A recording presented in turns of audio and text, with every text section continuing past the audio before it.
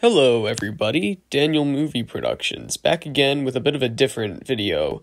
Today I'm going to be giving you guys a little bit of an update on Security Brandish again. Now, for those of you wondering, don't worry, it's not that the third episode is going to get delayed or anything, but if anything like that does happen, then I will be sure to let you guys know. Anyways, it's actually concerning the episode dates that I want to talk to you about.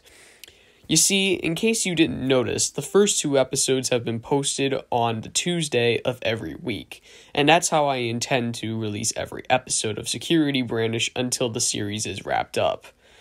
Anyways, that's really all I have to say, aside from thank you guys very much for enjoying the series so far.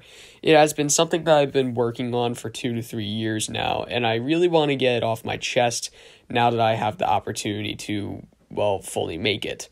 So, without further ado, thank you guys, and expect a new episode every Tuesday.